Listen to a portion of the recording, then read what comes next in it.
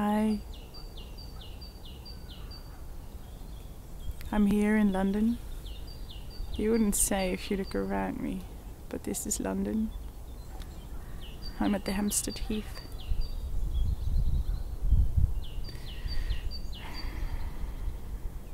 I'm here, giving myself a huge break from daily life.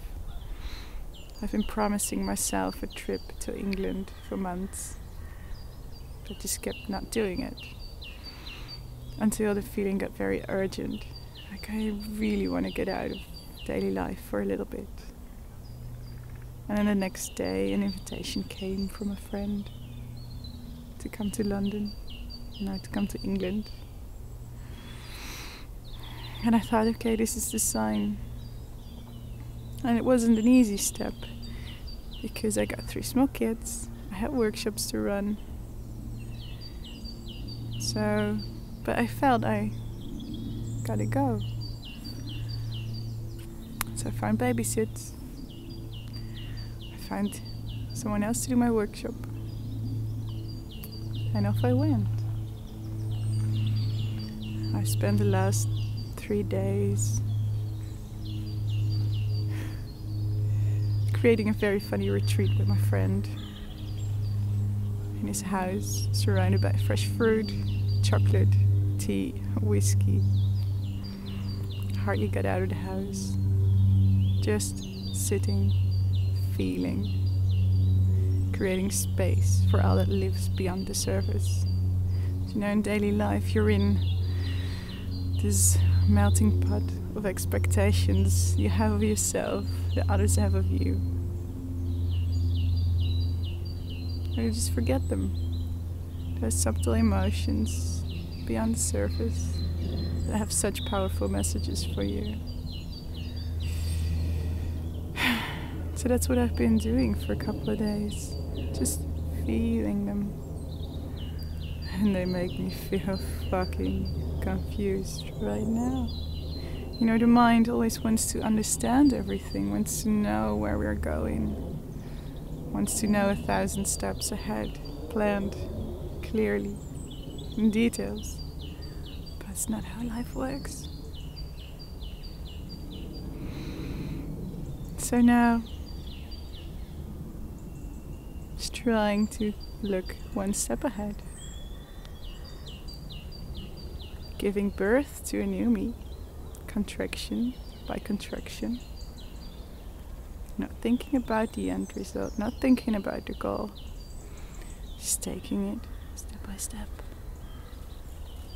Enjoying the path. Enjoying this confusion, these emotions. Being like the woman observing the little child and all her emotions the sadness, the grief, the rage, the anger, the joy, the bliss. It's all there. It's all in this body.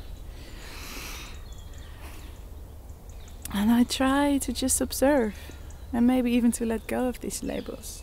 Because if you don't call it pain, if you don't call it bliss, if you don't call it sadness, it's just energy.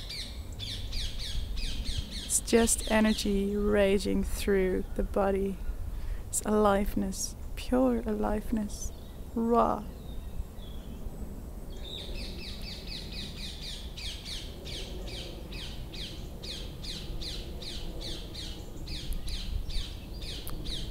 Very raw, very alive.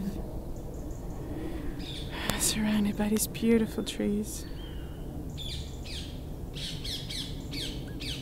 listening to the birds, taking life breath by breath, tear by tear, smile by smile. Just like the bird, branch by branch. just like this walk in the forest. I've never been here. I'm just walking towards the beautiful trees actually. and I have no idea what comes next. I'm not thinking about the way back. I'm not thinking about what's around the corner. I'm not thinking about My dirty shoes. Can you see them? Yeah, there they are. It's quite muddy up here.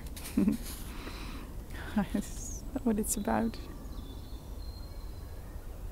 This is not about dirty shoes. This is not about walking on the path or aside the path. It's not about knowing where I'm going. It's not about where I was. It's not about who I'm gonna meet. It's not about who I'm going to be when I walk out of this forest. It's about this very fucking moment. Being so wildly alive. Crying for no reason at all. It doesn't matter. We don't have to understand life. We don't. We think we have to. We think we have to understand every single bit of it, every single person. we have to plan it out. It's what I teach us when we're small. Plan your career, plan your life. It's not what this is about. We don't live life to follow a maze or a grid. We follow life. We live to be alive. That's the only purpose, being alive. Raw life. Deliciously raw aliveness. Without a clue. All the wisdom in the world doesn't bring you any further if you don't take a step, and another step, and another step. Just going on. And don't forget to enjoy your muddy feet, the birds, the trees, every beautiful single person you'll ever meet.